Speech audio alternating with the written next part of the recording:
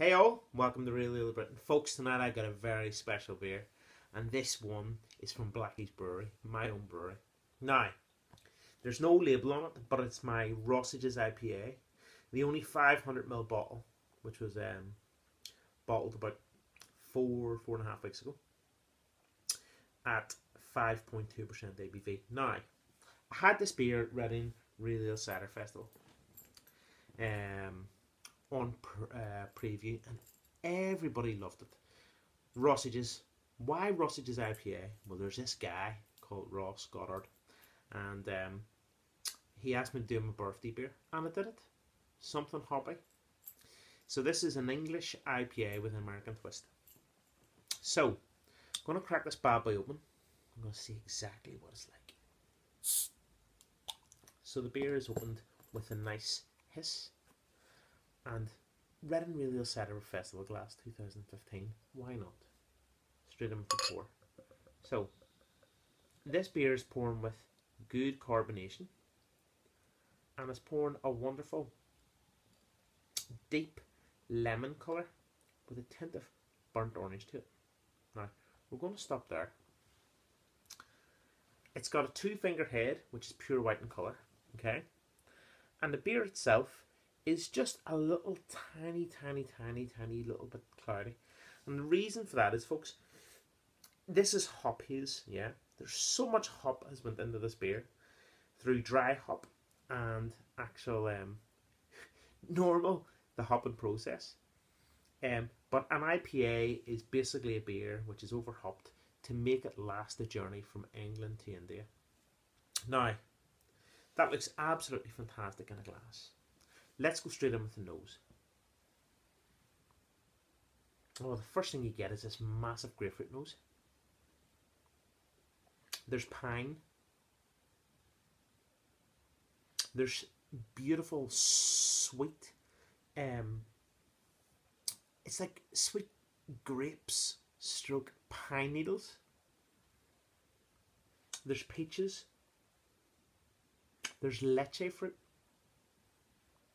And then you get this kind of roundedness of um,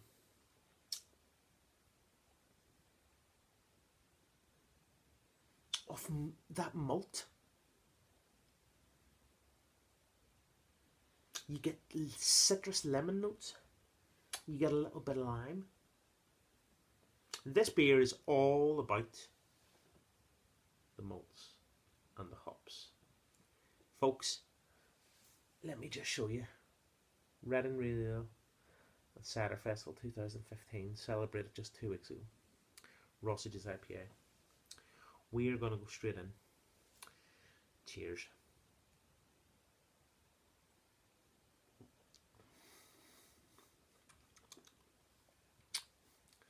The first thing you get is hops right up in your face. There's grapefruit, there's pine needles, there's lemon, there's lime, there's white flesh peaches, there's big, massive champagne white grapes.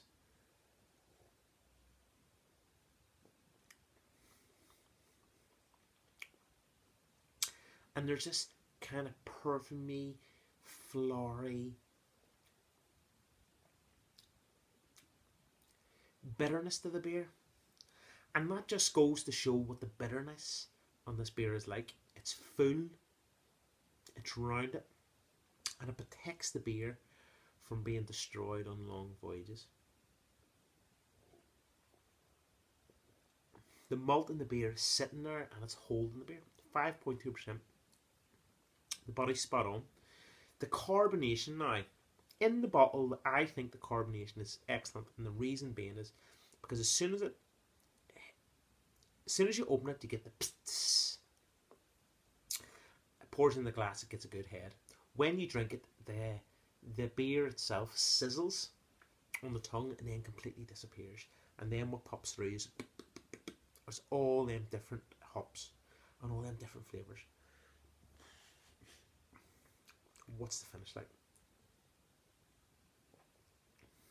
The finish is a light malty backbone with a massive hop um, structure, which has got citrus fruits, it's got grapefruits, it's got peaches, it's got the sweetness of pine, which leads to a wonderful but light and very light grassy bitterness.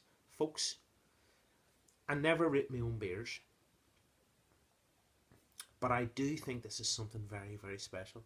And Ross, it was an absolute privilege to brew this beer for your birthday. Um, and actually, when Blackie's Brewery is up and running, this is going to be part of the core range. Folks, that is Blackie's Brewery. Rossage's IPA at 5.2% ABV. Cheers, Slammacar.